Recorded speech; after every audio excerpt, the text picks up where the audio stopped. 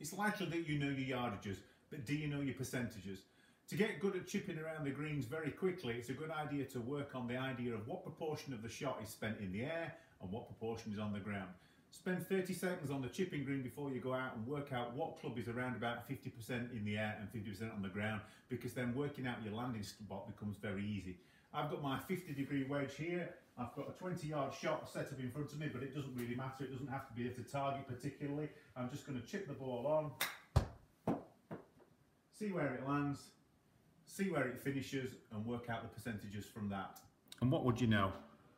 My gap wedge, 50 degrees, gave me 9 yards carry, 18 yards total, so I found my 50% club. So from there the rest should be pretty easy. I've got my 58, my lob wedge, I'm going to try and play a similar shot.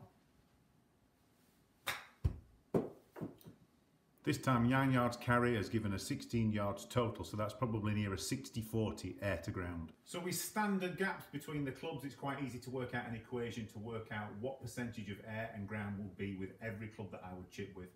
Keep the variables the same when you're practicing, so nice clean club face, similar kind of lie every time, but most importantly use the same kind of golf ball. Remember these results are working for a standard chip shot. If you want to work out how to hit more height or more spin, give us a shout down here at GolfTech.